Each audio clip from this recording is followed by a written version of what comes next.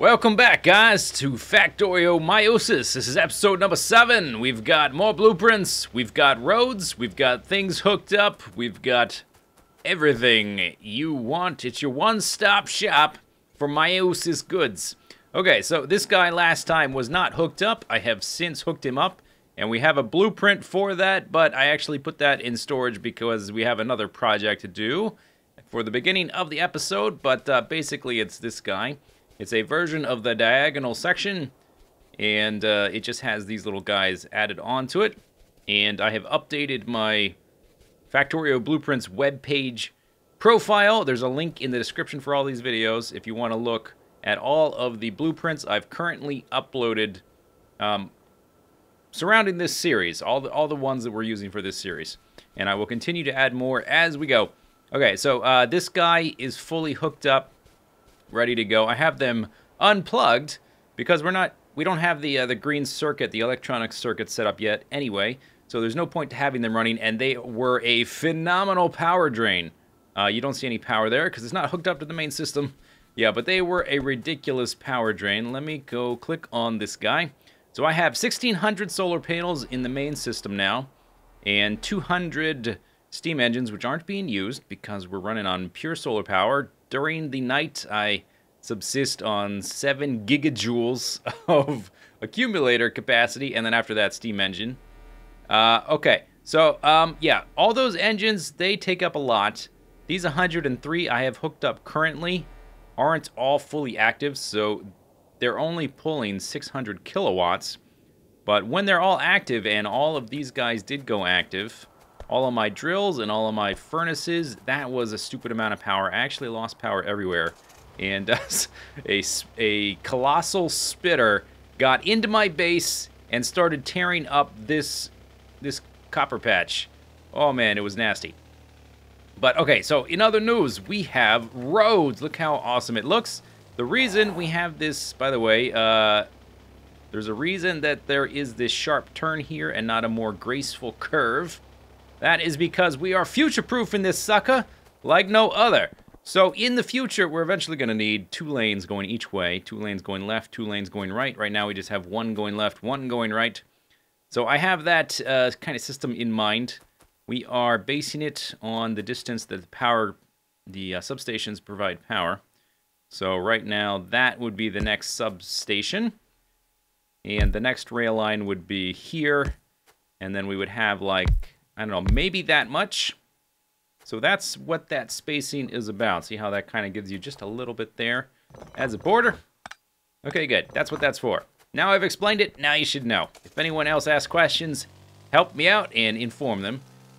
So I have a number of blueprints for the roads, which I will show you. I have them in a chest. I have yet to download that other blueprint mod, which helps you uh, store and recall your blueprints. I think I may have to use it because the amount of blueprints I have is getting a bit ridiculous. Now, you see, last time I was telling you, I was explaining how having a road would make it very simple to navigate just traveling. I'm not even paying attention to where I'm going. I'm just following the road. And so instead of going straight through here and ending up with nowhere to go, I just followed the road. Follow the follow the Gravik Road, follow the Gravik Road, and it just led me right through. Uh, no big deal. There is no road leading to the stem cell because the stem cell, it's uh, it's going extinct sooner or later. so I didn't bring a road to it. Okay, so here we are to stem cell. It's night already. Man, these days are too short. Let me show you the blueprints I've uploaded to the uh, to my uh, my profile on FactorioBlueprints.com. So we already had this one, the straight section, the offload section, the uh, diagonal section. This is the new one with the exits. We already had the gate, the uh, the U-turn, and the bendy and the other bendy. And now we've got some road ones. So we got a straight road, we've got a bend for the road, then we've got a diagonal road, and then a uh, a 90 degrees to 45 degrees one direction and the other direction. And then this guy right here is a spacer.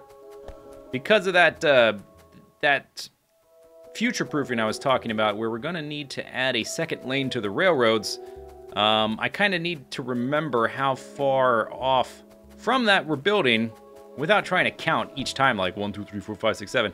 So I built a spacer blueprint to tell me how far off to, uh, to build.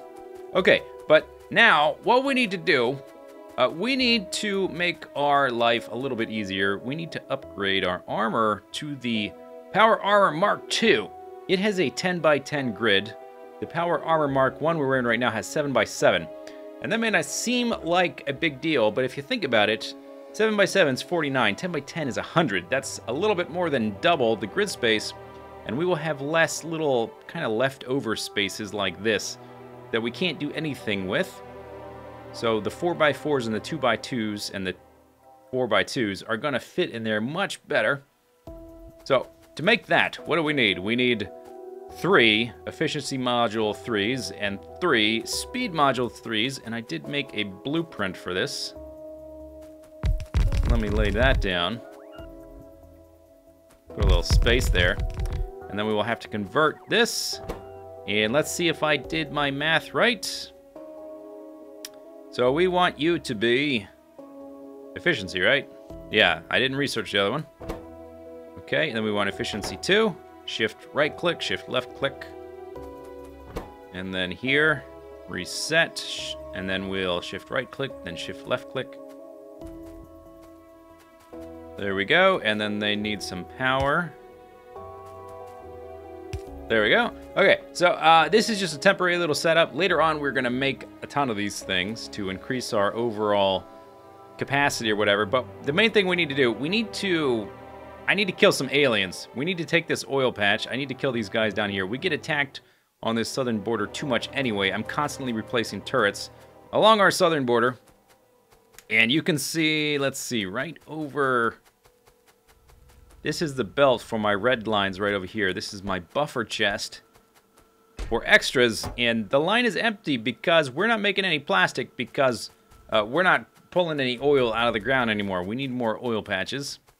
So we need to uh, get this suit up and going. That'll make our construction easier because we can carry more robots around with us.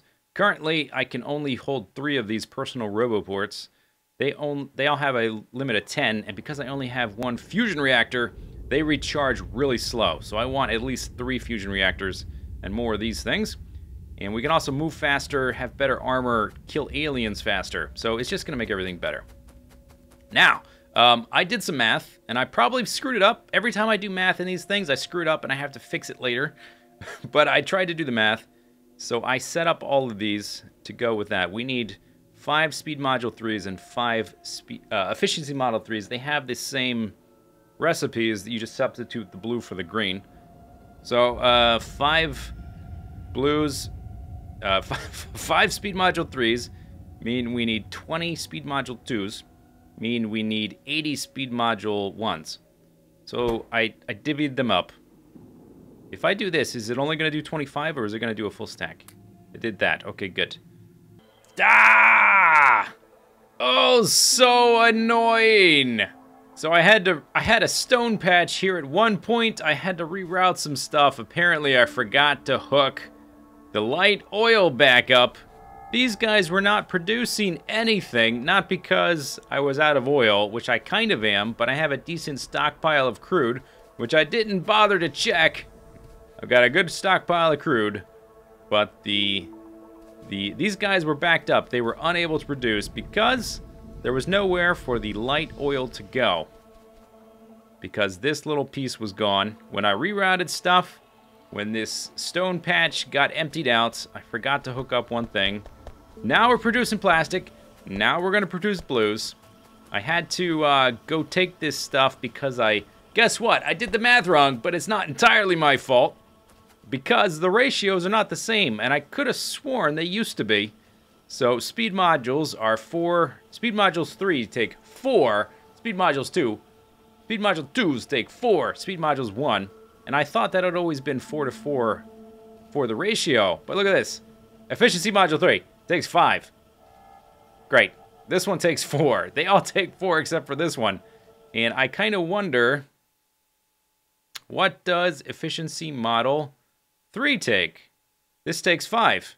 Oh, I guess productivity is better. Well, okay. Anyway, uh, I have some more stuff to produce, and then we're gonna kill some aliens. All right, it is time for more robots. I am clicking the button. Power Armor Mark II being researched, or I, I already researched it, but it's being constructed right now. 25 seconds. I have an extra two portable fusion reactors.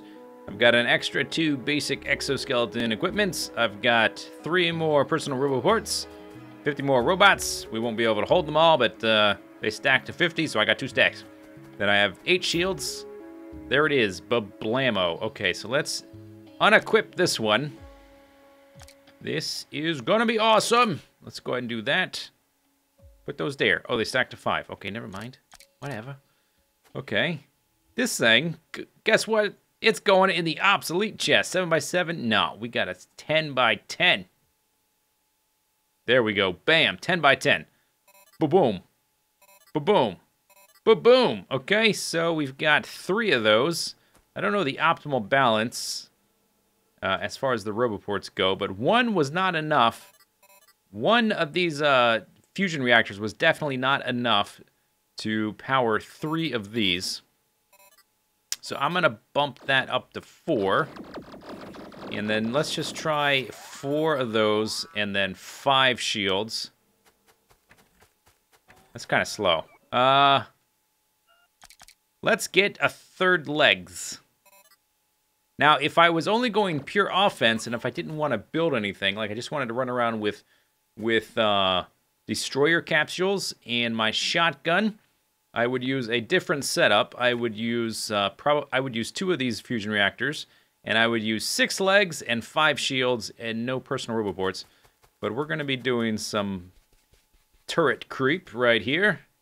Okay, we got some guys here, so let's go ahead and... Let's see, where's the nearest... Quite far away. Okay, actually, let's do this.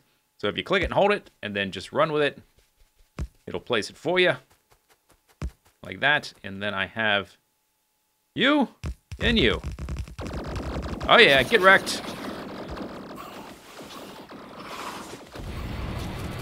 Okay, so uh, by the way, the evolution factor, which is a hidden number, there is a mod that'll show it for you. But as you kill more aliens, as time goes by, um, and I think there's another factor as well, I can't remember what it is, but more dangerous enemies will evolve, and so now we have their final form.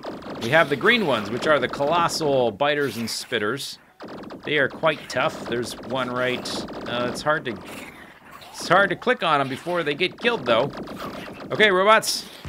Here's splats. And I would like to look to see how fast these are recharging, although I am putting them through their paces. All right, more turrets. That's right. Oh, I did the ro. Oh, I did the um, the one at the wall. I didn't mean to do that. All right, let's get rid of some of these bases. We can just run in here because we're faster, we're tougher. We got shields. We can blow up that rock. It's dark, but we have lights. Okay, let's expand sideways. Okay, good. Take out all these guys. How many turrets I have? Oh, uh, okay, I got plenty. We're fine. Wouldn't hurt to expand the lights either. Get in here, just run in here and just go go ham with the shotty. Because I have the shields, I'm way tankier, and my shields recharge pretty quick. More turrets! Have uh, 100 at least. And because I can use more robots now and they recharge faster, we can do this turret creep stuff way quicker. So a whole lot of biters have been killed. Time to do some building. Here is the area. Let me, hang on. Let me stop. Stop, please. There you go. Okay, so uh, cleared out a nice big swath here. Getting attacked much less often. That's good. So uh, one of the things we need to figure out, which I have just figured out, really simple addition to the, the loader here, is we needed a way to resupply the trains, the locomotives, with coal. And so let me grab one right, uh, right there. So we are going to have a train going around and delivering coal to other train stations to keep those trains topped off on coal. So he's just going to be a one locomotive, one caboose kind of guy. Uh, because he is going to fit in right here. I've got a smart loader, which is set to only allow the train to offload coal. Um, so it's going to, and there's only enough here for one stack, one stack, one stack, one stack, and they stack to 50. So 200 coal here. And when a big coal train that like is uh, going off to our future steam pump or wherever we need a lot of coal. Um, this thing is going to fill up so fast that it's not like it's going to be hampering the loading of the main train. So I just want to try it out to see if it works. We need to give this guy some starter coal. And then we'll give him a route and see if it works. So we want to start at the coal cell. And I think probably just like 15 seconds or maybe 20 seconds is enough to fill up. We only have two stops right now. Uh, and then after that, which one is closer? He's going to come down here. I guess it would make sense to go to copper and then iron, although it doesn't really matter since he's got to go to both. Let's go to copper first. Okay, and really probably only 10 seconds is enough. And then we'll go to iron for 10 seconds and then come on back. So we're going to write it, see how it does. All right, let's do it. 20 seconds here. Let's turn on that so we can see it work. There we go. He's already fill up. He's already full up. Um, this is filling up super fast. Maybe 20 seconds. I think 15 is fine. Let's change that to 15. He's full. And he's only going to be dropping, at maximum, four stacks of coal. But usually, as he goes around and around and around and around, he's going to be dropping much less than that. Oh, there's no power here. Uh, I turned it off because it's using a lot of power when it's not doing anything useful. Okay, that's already full. Oh, you're picking up... Okay, we need to change that. Uh, hang on. Stop. Made a mistake. Okay, so this caboose, important thing. We need to make sure that it only accepts steel. Or it only accepts uh, coal. So I'm shift middle mouse cl clicking. Middle mouse button, the scroll wheel shift middle mouse button to make sure this only accepts coal. That's very important. Kind of forgot. And let me go dump off the extra copper here. Put that there. It, this thing, when it's everything is working, uh, it increases my consumption by over 50 megawatts. So when I don't need it just yet, we're not producing anything with it. May as well turn it off. Okay. Um, next, off to the iron guy, so that shouldn't happen anymore. He should not pick up any iron this time. Nice. Lickety split. This guy is also not on. So, um, well, you get the idea. It, I think it definitely works. I guess we could hook him up. There we go. No, no, stop! Ah, he left without us. Well, it only had time to unload a little bit, but yeah, I think that works fine. So next thing we're gonna do, I left my car, ah, left my car way over there. I'm gonna turn this off for now because we don't need all of this sucking power down either. And oh, that is producing a lot of pollution. Look at that pollution spike right there, wow. Uh, oh, another thing I did is I added um, ba line balancers here and there so that the, the lines are balanced left to right side. It seems to be going, it seems to be pretty balanced after that point. That's good. I added uh, those all over the place for the other guys as well. All right, um, the train actually is probably going to be back. I need to put down, one thing I need to do is put down more radars because all of this area that's slightly darker, I can't see where the train is. This area I can because I'm here. And these other areas are brighter because I have radars there. I need to put more distributed radars. At first I was going to put them... Whoop, don't get hit. I was going to put them on the rail line. Okay, there we go. So you, yeah, you, he had an empty spot, but he's not picking up any of that. Let's go ahead and turn this off, though, because we don't need this running while we're not here. Or while we're not doing anything with it. Let's head back to the, uh, the coal cell, pick up our car, and then go do a little bit of building. So we're building the, uh, the electronic circuit cell next. I have a blueprint for that. Okay, stop here. And you know what? Yeah, you don't need to be moving either, so we may as well stop that. Uh, where we're going to put him, we are going to put the electronic circuit guy right over here to the left. And I have a blueprint for it. I've been finding some cool blueprints on the uh, the Factorio Blueprints website, so we're gonna try one.